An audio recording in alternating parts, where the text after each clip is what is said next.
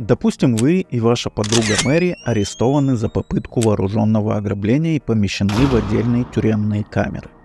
По закону за подобное преступление положено 10 лет тюрьмы. Однако у следствия, похоже, нет достаточных улик, поскольку следователь предлагает каждому из вас следующее. Если конкретно вы, говорит вам по секрету следователь, сознаетесь в преступлении, а Мэри будет молчать, вы выйдете на свободу за сотрудничество со следствием, а Мэри получит положенные 10 лет тюрьмы. Если же Мэри, в свою очередь, также сознается, то вы оба получите по 5 лет тюрьмы вместо 10.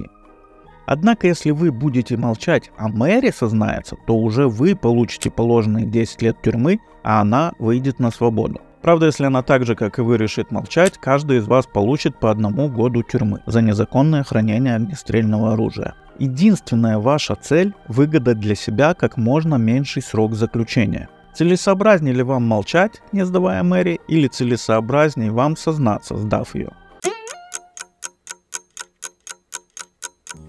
Разумеется, перед Мэри стоит точно такая же дилемма.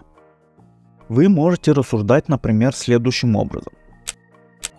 Если Мэри сознается, то в случае молчания я получаю 10 лет тюрьмы, а в случае признания 5. Таким образом, в случае признания Мэри мне целесообразнее сознаться. Если же Мэри будет молчать, то в случае своего молчания я получу год тюрьмы, а в случае своего признания выйду на свободу. Мне опять же выгоднее сознаться. Сознается Мэри или молчит, мне очевидно целесообразнее сознаться в преступлении. Мэри рассуждает точно так же, вы предаете друг друга и на 5 лет остаетесь в тюрьме.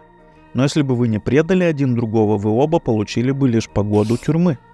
Как бы это выглядело с вашей точки зрения? Допустим, я молчу, рассуждаете вы, но Мэри сознается и выходит на свободу, а я на 10 лет отправляюсь в тюрьму. Почему я должен доверять Мэри? Есть ли у меня какие-либо разумные основания для этого?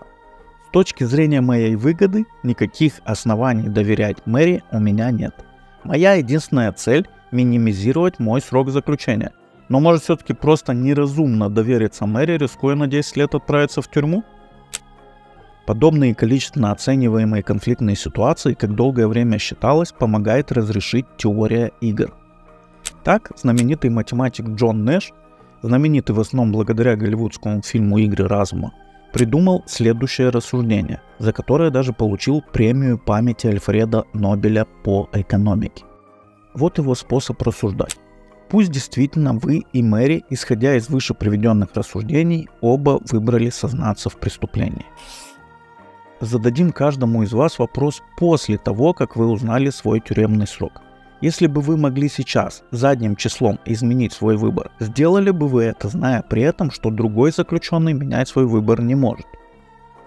Если ответ отрицательный и вы оба согласны, что ваш выбор в этом смысле правильный, то, согласно Нэшу, в игре достигнуто равновесие. Как говорят в теории игр, достигнуто единственно возможное удовлетворительное со всех точек зрения положение в распределении выплат.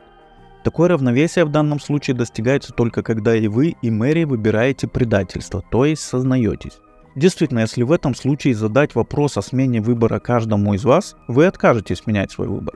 Поскольку конкретно вы, выбрав предательство, получили 5 лет тюрьмы. Изменение решения означает для вас выбор молчать и 10 лет тюрьмы. Вариант хуже имеющегося.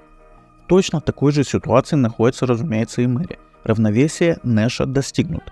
В то же время, если бы вопреки предыдущим рассуждениям оказалось, что вы оба выбрали молчание, то вопрос любому из вас об изменении своего выбора в одностороннем порядке, очевидно, встретил бы согласие, поскольку тогда каждый из вас уменьшает свой срок заключения с одного года до нуля.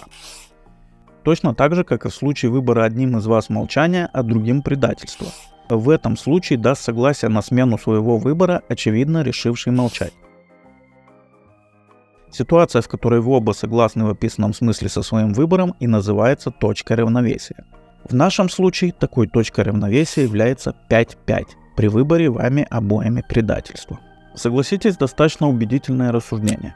Но что делать с тем фактом, что ведя себя неразумно, то есть иррационально, оба участника получили бы лишь погоду тюрьмы, в то время как доверившись логике и теории игр, получают по 5? Это и есть главный парадокс, который сделал дилемму заключенного знаменитой. Более того, и в реальных и смоделированных ситуациях, которые можно рассматривать как дилемму заключенного, реальные люди ведут себя в большинстве экономически нерационально и не предают друг друга, даже упуская приличную выгоду. До сегодняшнего дня четкого объяснения этому нет. Иррациональное с точки зрения экономической науки поведение ведет к большему выигрышу, чем рациональное. Парадокс или может что-то не так с самой экономической наукой?